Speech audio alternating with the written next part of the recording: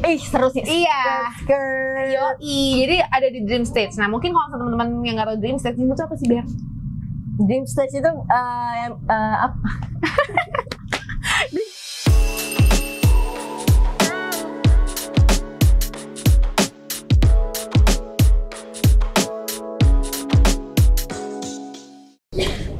Anyang tuh teman Nisa. Kita sudah Oh lama ya nggak ikut, nggak kita nggak live K-Rumpi Kayak lagi. rumpi, rumpi, rumpi, rumpi. Itu harus harus tetap ada Harus ya. ada. Jargon kita harus tetap ada. Yes. Eh by the way, by the way anyway Baswe mungkin teman-teman Aisa di sini Mhm. yang udah lihat eh, Instagram kita Mhm. Pasti udah tahu kalau misalnya kita tuh bakal ada KCON 2023 di Thailand. Thailand, yes. There goes to Thailand. Eh, Cup. Kapun Cup. Eh Kapun Cup ya? Iya, kapan? Saudi Eh, Cup. By the way nih ya, teman-teman Naisa mungkin di sini bisa tanya-tanya banyak-banyakan tanya-tanyaan soalnya kita bakal ada giveaway Hmm. eh, album K-pop. Oh my god nih ya, udah temen asal nungguin dari kemarin tentang eh, kak mana giveaway giveaway. Nah ini dia nih yang Ini kamu dia. nunggu album K-pop buat kalian yang suka nanya-nanya, yang antusias nanya, komen, Komen ke yang kita. banyak, nanti kita akan kasih kamu eh, album K-pop. Yes, betul. Jadi KCON ini festival salah satu festival musik terbesar Korea yang men- me- apa ya menampilkan berbagai macam uh, musisi K-pop, musisi Korea yang papan atas tapi di luar Koreanya. Jadi mereka mencoba ke barat sama ke Asia. Terus habis itu juga eh, kita ngebahas dulu soal KCON 2022 deh. KCON Oke. 2022, KCON 2022 itu pertama kali setelah pandemi di eh, ini lagi, di offline Mhm. lagi. Itu tuh ada di Jepang, LA Ay, dan juga du- Arab Arab, Saudi. Arab Saudi. Dan Arab Saudi kalau nggak salah kemarin itu pertama deh di Arab Saudi. Iya, pertama tuh kayaknya Arab Saudi ini mulai konser ya, kayak kemarin juga. Blackpink konser di sana terus kayak antusiasme warga tuh gede banget Iya, benar-benar benar. Finally, mereka Yes. ke negara gue. Iya betul banget karena tuh kadang-kadang tuh sus agak sulit sebenarnya Hmm. masuk ke dalam. Kalau nggak salah tuh sebelum pandemi sempat ada BTS Oh. Speak Yourself itu di Arab Saudi. Terus habis itu mungkin habis pandemi sempat ada Blackpink. Hmm. Terus habis itu sempat ada KCON juga dan it- di Arab Saudi bagus-bagus ada New Jeans. Ada New Jeans. New Jeans kan salah satu newcomers juga ya. Jadi kayak wow wow wow gitu tiba-tiba ada New Jeans terus habis Nanggung ke Arab. Yes, bener banget. Dan itu lumayan gong banget ya Yes. kayaknya ya. Uh, uh, KCON di Arab Saudi ini. Oh ya by the way, KCON tuh nggak cuma konser doang kan Ber biasanya. Oh iya banyak activity-nya dan seru banget waktu yang di LA tuh mereka suka bikin kayak uh, random stage, Ah, gitu-gitu random ada. play dance. Random play dance. kalau teman Aista, eh siapa tahu ya kayak di Indonesia terus kita random play dance bareng pasti bakal seru banget. Iya banget. Kemarin tuh kalau nggak salah sempat lihat random play dance-nya Kepler sama Nmix. Eh, Nmix. Ya nggak sih kita sempat Yes. lihat kan. Jadi mereka yang random play dance terus orang-orang di sekitarnya tuh kayak ngeliatin mereka ngedance gitu. Ah. Sebenarnya itu untuk si untuk gue yang Mhm. multi fandom itu tuh seneng banget ya karena ngeliat kayak mungkin aku suka banget Kepler tiba-tiba Kepler eh, eh, ngedance lagunya Seventeen gitu Aha. jadi kan kayak Oh iya, soalnya random play dance ya. iya Jadi kayak bener sambil joget-joget lagu Ah, K-pop ah. lain. jadi kayak iya ampun seneng Teman banget ada yang Kepler. nonton gak nih kemarin? Ya, Nonton siapa tahu ada yang ke LA juga kan ya teman Aisyah. Ya coba dong komen, ada yang komen. Nah, biasanya tuh emang kalau KCON itu tuh suka ngebawa artis-artis yang emang eh, berasal dari situ gitu loh, berarti Ah. nggak sih? Kayak hmm, kayak di Thailand ini contohnya. Ada Bem Bem. Ada Bem Bem, ada J-Idol. J-Idol, ada Mini kan, Mini Chan. Terus Nama Mini Chan. nama Instagramnya Oh, Mini Chan. Chan. Nah, jadi mereka emang suka kayak membawa artis-artis artis-artis yang emang dari dari situ gitu. Mhm. Jadi kayak akan semakin kayak melokal gitu ya untuk warga-warga Thailand. Dia pasti happy banget sih, dia pasti menyapa fansnya, warga Thailand, bahasa Thailand. Nah, ah, by the way, untuk yang di Thailand ini tuh bakal diadain di Impact Arena. Mhm. Salah satu salah satu tempat konser terbesar juga. Kalau nggak salah kemarin sempat juga ada festival apa ya? Festival Kok sering ya? Situ ada ya, festival, ya? festival yang didatengin sama Treasure itu juga kalau nggak salah ada di Impact Arena juga Mhm. sempat ada.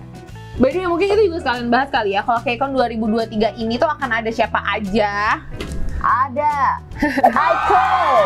Oh iya, ada Icon ya. Ini FYI ini pertama kali Icon Tampil setelah dia keluar dari YG.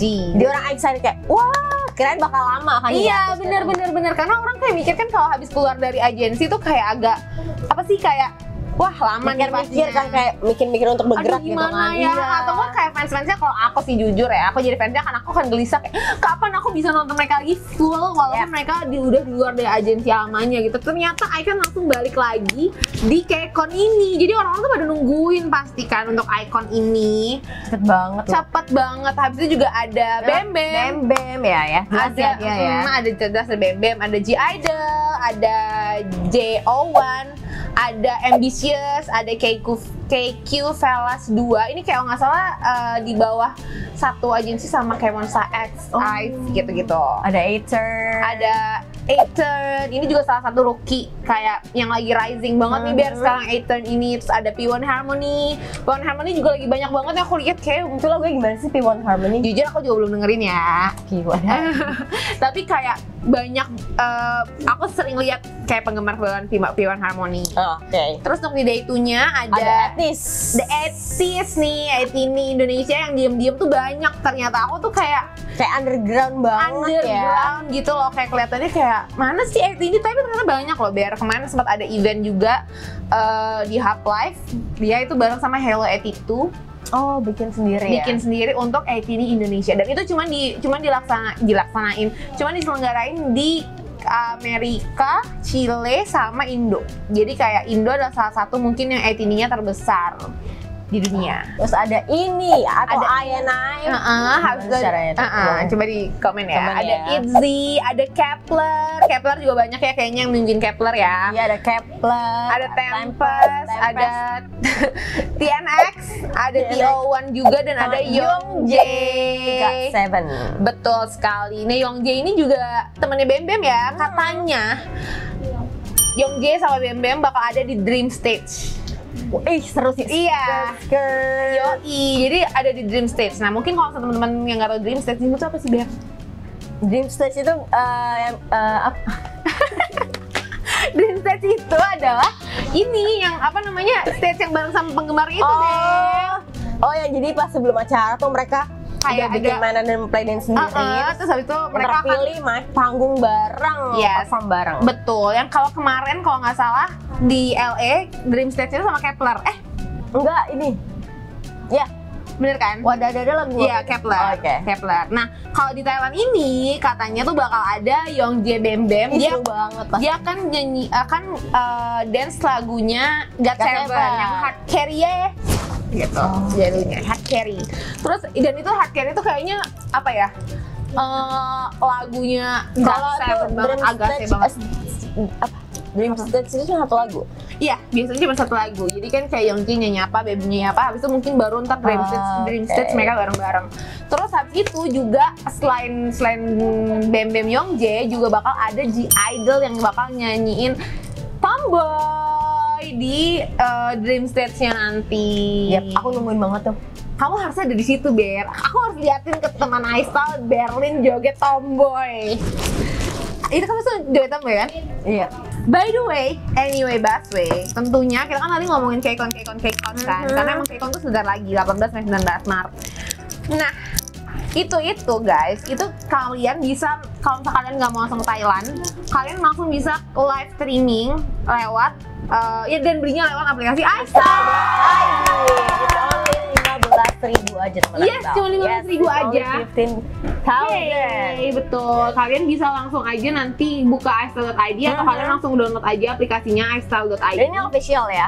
Dan ini official ya guys ya. Jadi kita memang kerjasama dan memang kita itu adalah live stream official live stream partnernya dari KCON 2023 Yes. di Indonesia.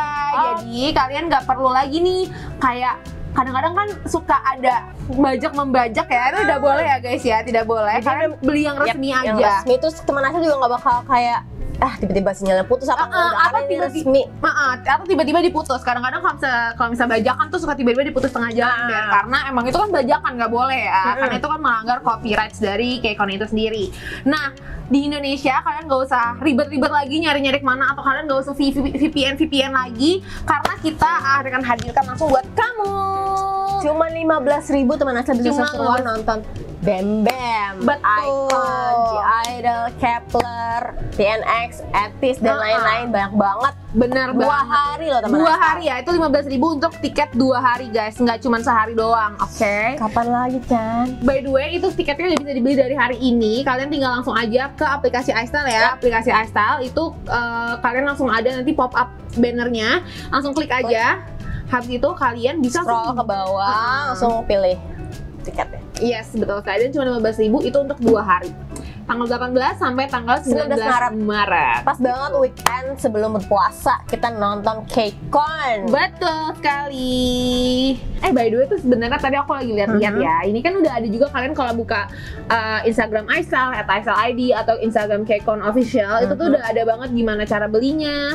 Terus habis itu gimana uh, apa namanya gimana nanti redeem tiketnya, gimana cara nonton itu semua udah ada ya guys ya. Jadi kalian bisa baca aja baik-baik di sana. Dan sebenarnya itu uh, banyak banget yang bilang kayak kirain Kcon ada di Indonesia.